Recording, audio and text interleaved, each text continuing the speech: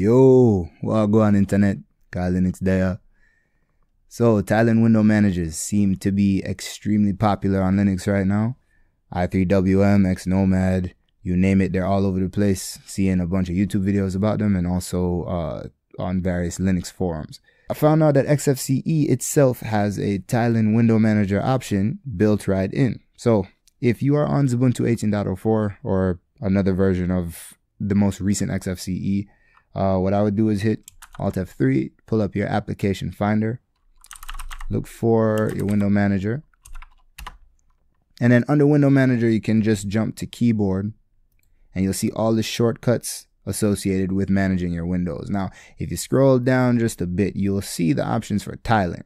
So tile window to the bottom, the top, top left, top right, etc. You're seeing a 1080p display right now because I've changed my resolution settings so that I could record this OBS video without things being strange and letterboxed.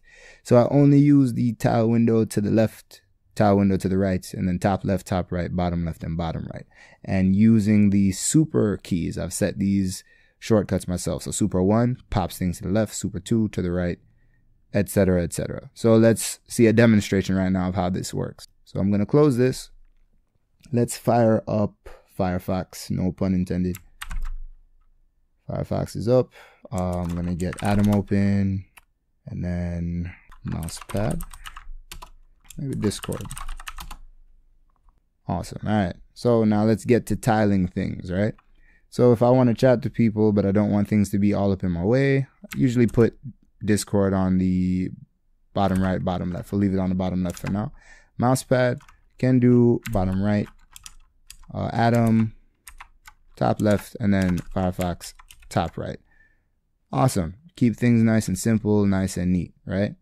Now, if I don't want to have four items on the screen and I want to have my browser open fully on the right, for example, if I'm doing some code like over here on the left, uh, I'd want to see the changes that I made right in the browser immediately. And on ultra wide, it looks a lot better. So uh, it, it's almost as if I'm looking at the full screen. So I'll just close, I'll just close mousepad jump over to Firefox again, and then super 2, and boom, it's now popped over on the right side, and whatever changes I make over here, hit save, and then refresh the page on this side, good to go, right? And then you can just alt tab and just start closing stuff real quick. Now, it's not, it might not be as awesome as, let's say, i3WM in the sense that that can pull up maybe 16 different tiles or 24 tiles and organize them automatically. It scales things down automatically. There's no need for you to have to scale things. But I don't need that many windows. That's just me. I don't need that many tiles. Three to four is perfect for me and the things that I'm doing as far as my pro- um, productivity is concerned. So for those of you out there that are looking for a more robust system, uh, they want that want to have more options as far as the number of tiles you can have and the styles of those tiles. Definitely look into i3WM, Xnomad, and all the other ones that are out there. But for the folks that are currently on XFCE or uh, you know just using something like Xubuntu, like I am, just use the one that's built right in. Keep it simple. Quick side note: I also utilize workspaces when I'm using the tiling manager. So if I have four windows open on one screen or four tiles that are set up on one screen, I usually jump to another workspace and set up another set if I need them. So one workspace would probably be set for communication programs and applications. Another workspace is for the text editor, terminal, and the web browser when I'm doing the code stuff. And then there might be maybe this is not usually the case, but there may be a third workspace that has my file manager open and whatever else is associated with that if I need to jump to another set of windows. So that's another thing to keep in mind if you want to use the tiling window manager effectively. Tiling, Windows, XFCE, on Linux, Ubuntu 18.04 specifically. That's that that about covers it. Uh, on a quick side note, I want to mention to you guys uh, that we've passed 500 subscribers on the channel some time ago. I think it was like maybe two or three weeks ago. And I just want to express my extreme gratitude to you guys, give thanks, appreciate you all for tuning in since 2016. Was not expecting this many people to tune in after that Dell, uh, what is it, Latitude D630 video I did way back when.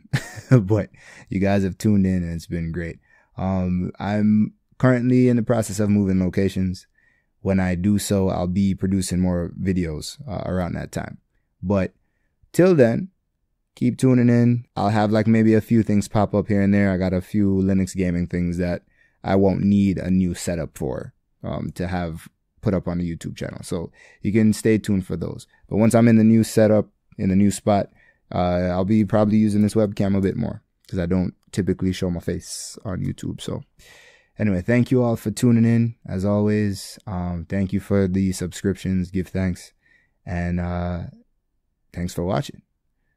With all that being said, this has been KyLinux. And remember, no matter what distro you use, out of many, one Linux. Give thanks. Peace.